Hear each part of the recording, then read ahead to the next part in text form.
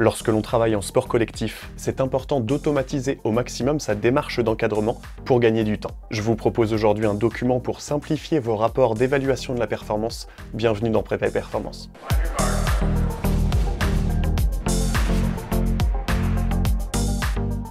Évaluer la performance et constater son évolution à travers le temps est primordial aujourd'hui en préparation physique. J'ai à plusieurs reprises parlé de suivi longitudinal sur la chaîne. Alors avoir des outils qui facilitent cette mise en place sera une aide précieuse. Qui plus est, il ne s'agit pas toujours de suivre des résultats de tests, mais également de les présenter de façon lisible. Ça peut être pour faire un retour aux entraîneurs, à un staff, ou même pour témoigner de la qualité de son travail lors d'un entretien d'embauche. C'est pourquoi l'idée d'un rapport, que l'on peut facilement imprimer ou partager, est important. Aujourd'hui, je vous propose un outil simple d'utilisation qui va vous permettre de faire tout ça sur Excel. Comme d'habitude, vous pourrez aller télécharger ce document dans le groupe Facebook d'échange de prépa et performance. Vous trouverez le lien de celui-ci dans la description de cette vidéo. Mais avant de vous présenter ce document et la manière de l'utiliser, je dois rapidement faire l'aumône pour le bien de prépa et performance. En effet, ces derniers mois, malgré un nombre croissant d'abonnés et de vues, nous gagnons de moins en moins d'argent. Les politiques publicitaires de YouTube ont changé et avec elles notre plus grosse source de revenus. Afin de garder une indépendance totale dans notre projet, nous ne souhaitons pas faire de pub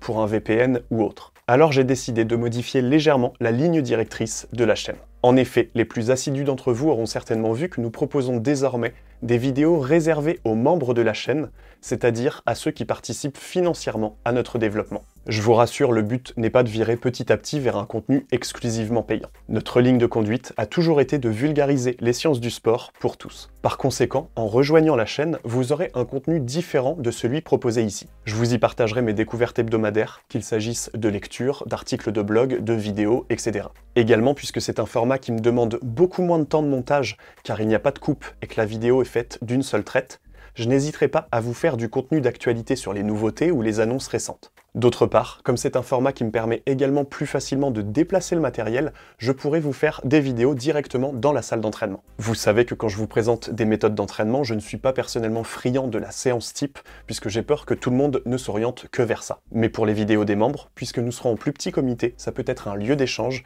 et donc d'exemples autour des méthodes. Enfin, vous vous êtes peut-être rendu compte qu'il est de plus en plus difficile pour moi de répondre aux commentaires, parce que nous en recevons de plus en plus tous les jours. Puisque nous serons bien moins nombreux sur ces vidéos, je ferai une priorité d'échanger avec les membres. Ça permettra de créer du lien qui manque beaucoup dans le monde numérique et également d'avoir un lieu d'échange plus calme. Quoi qu'il en soit, si je vous dis tout ça et mes systèmes en place, c'est parce que nous avons besoin de vous. C'est de plus en plus difficile de couvrir les frais que représente la chaîne et c'est notamment pour ça que plusieurs des projets que je vous ai teasés ont pris du retard. J'avais rêvé que les publicités de la plateforme suffisent à financer tout ça, mais force est de constater que ce n'est pas suffisant à notre échelle. Alors pour tous ceux qui trouvent un intérêt à la chaîne, qui ont pu apprendre quelque chose ou utiliser des documents gratuits comme celui d'aujourd'hui, je vous invite à nous rejoindre. Un don mensuel d'un euro ne représente quasiment rien pour la plupart des gens, mais multiplié par un grand nombre de donateurs peut nous aider à survivre. Maintenant que vous avez écouté mes lamentations, passons à notre document du jour. Dans ce document, vous trouverez une première page de rapport sur laquelle nous reviendrons plus tard suivi de deux tableaux qui vont être les outils de fonctionnement de notre document.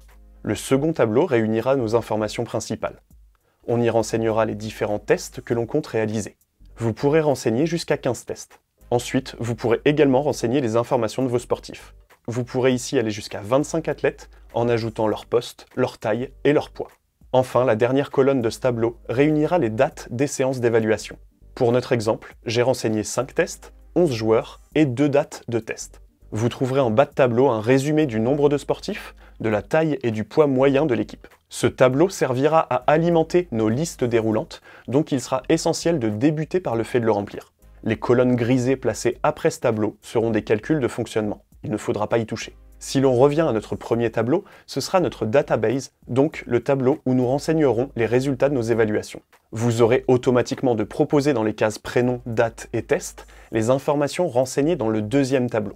En dernière colonne, vous pourrez finir par ajouter la meilleure performance réalisée lors des tests. Faites ça sur l'ensemble de vos sportifs et pour l'ensemble des tests. C'est un tableau dynamique, vous pourrez donc l'étirer à volonté. Si nous revenons maintenant à notre première page du rapport, nous aurons dans un premier temps à choisir l'athlète concerné. Les informations personnelles se renseigneront automatiquement. Vous pourrez également ajouter manuellement une photo si vous avez réalisé un trombinoscope en début de saison. Ensuite, le grand tableau central colligera jusqu'à 15 résultats de test avec comparaison au reste de l'équipe. Par exemple ici, puisque je n'ai renseigné que 5 tests, je peux, si je le souhaite, mettre à la fois les résultats de notre première date de test et également en dessous ceux de notre seconde séance de testing. Mais si j'avais réalisé beaucoup plus de tests, j'aurais pu tout simplement tous les indiquer ici. Nous trouverons ensuite notre premier, deuxième et troisième quartile pour savoir où se situe la performance de notre sportif dans l'équipe, avec une mise à jour conditionnelle qui colorera la case en fonction du positionnement dans le groupe. Enfin, en dernière colonne, nous aurons la meilleure performance des participants pour ce test et cette date. Juste au-dessus, le tableau de priorité vous permettra de choisir 5 tests parmi ceux que vous aurez réalisés. Vous aurez ainsi les performances de votre sportif en comparaison à la moyenne du groupe et où le 100% correspondra à la meilleure performance de l'équipe. Par ce biais, en dessous du tableau central, vous obtiendrez un schéma résumant la performance de votre athlète en rouge comparativement à la moyenne de l'équipe.